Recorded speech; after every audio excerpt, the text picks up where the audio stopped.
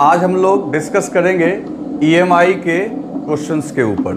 जो हमने motional EMF में पढ़ा है तो मोशनल ईएमएफ पे मैं कुछ अच्छे अच्छे क्वेश्चंस करवाऊँगा। ये थोड़े क्वेश्चन टफ हैं, कुछ आसान हैं, कुछ टफ हैं।